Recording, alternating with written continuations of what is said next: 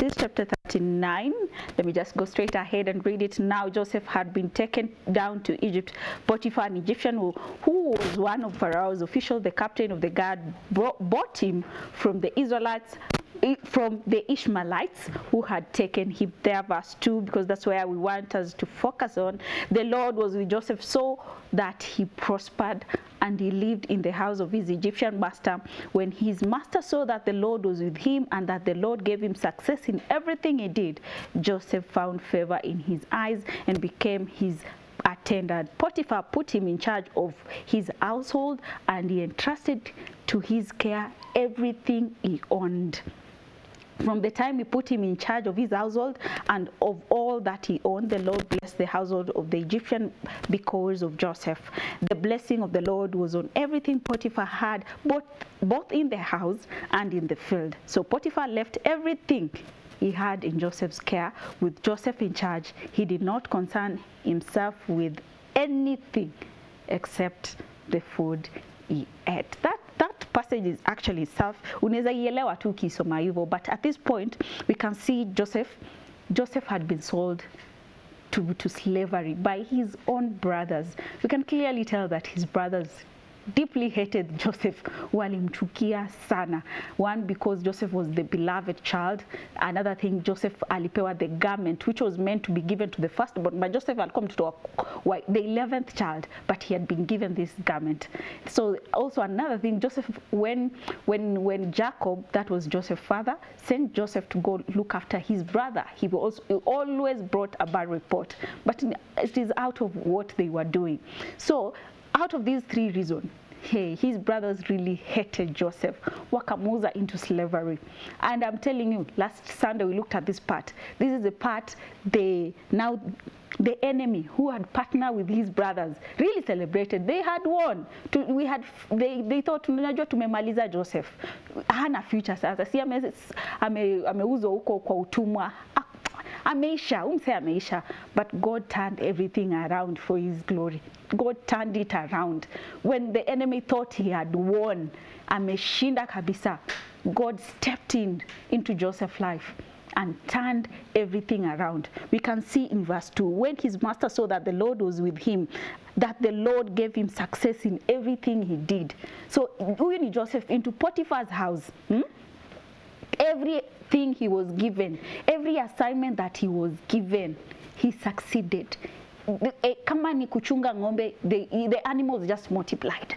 If he was given a garden to plant something the things just multiplied. It grew. Yes in everything joseph did succeeded you know because because god was with him all this happened because God was with Joseph.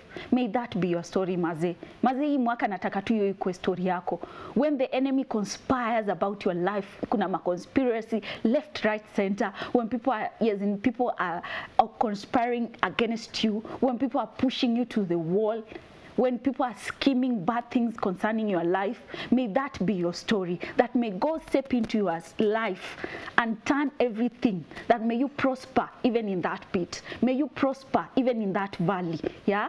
May that be your story for 2021. Hiyo ndio verse inanikumbusha I will never leave you, I will never forsake you.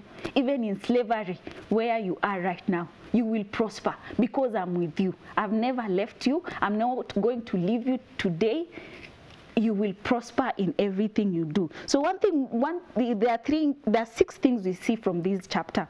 The first thing, Joseph, Joseph now is in Potiphar's house.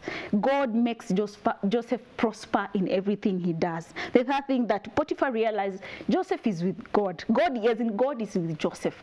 This man cannot be prospering. Clearly, God is with this man. You know. So so Joseph is highly favored, even with Potiphar. He's very highly favored. So because God was with Joseph, we can see that Joseph was that point of contact between him, yes, a point of contact with heaven. That was that's why he was prospering. Yeah. So Potiphar and his household was blessed.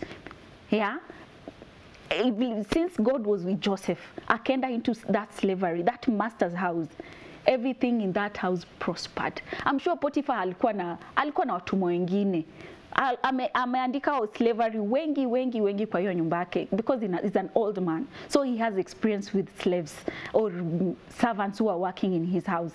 So he had experience. But this this one person this Joseph was different this man just steps into my house and everything prosper. I'm blessed in the field. Nikienda job I'm blessed. Nikiwa hapa ndani I'm blessed that point yes in that thing made Potiphar promote Joseph to become now in charge of everything in that house.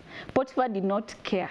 As in hakujishughulisha with anything in that house because he knew Joseph will just handle everything. And by the time Joseph was handling all those things, Joseph was a very disciplined person. He was very obedient. He was hardworking. He was trustworthy to the point anaachiwa nyumba yote. He was a trustworthy person.